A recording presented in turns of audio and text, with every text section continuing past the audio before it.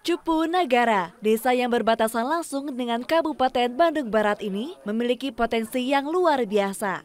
Udara yang sejuk dan pemandangan alamnya yang indah menjadikan desa di Tapal Batas Subang bagian selatan yang ini memiliki potensi untuk dikembangkan menjadi desa wisata.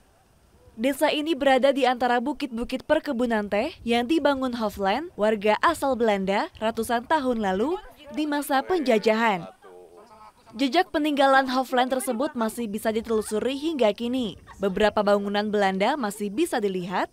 Hal ini tentunya sangat menarik bagi penggemar wisata sejarah. Potensi wisata lainnya yang dimiliki Desa Cupu Negara tentu saja keindahan alamnya yang masih belum tereksplor.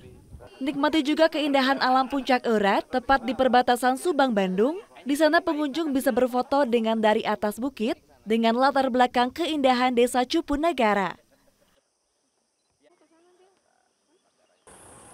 Akses jalan yang masih kurang baiklah yang menyebabkan berbagai potensi tadi seakan terpendam bertahun lamanya.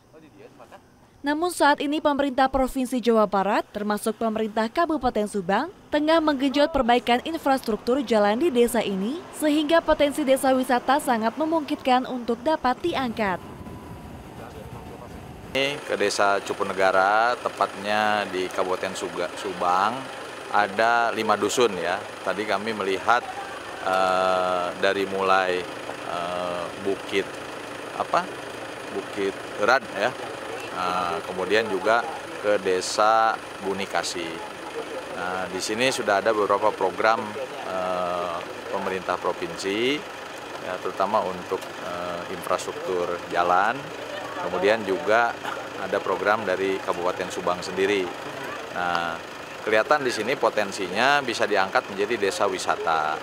Nah, klasifikasi desa wisata itu dari mulai embrio, kemudian juga berkembang dan maju.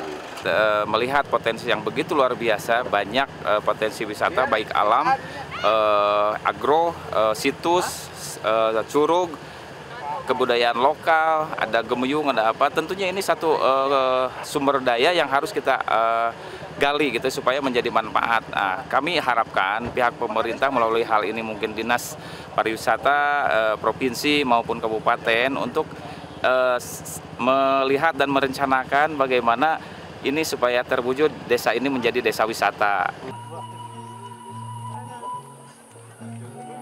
Warga Cupun Negara berharap Desa Cupu Negara dapat menjadi salah satu destinasi wisata andalan ke depan mengingat potensinya yang cukup banyak. Tim Liputan, Kompas TV, Subang, Jawa Barat.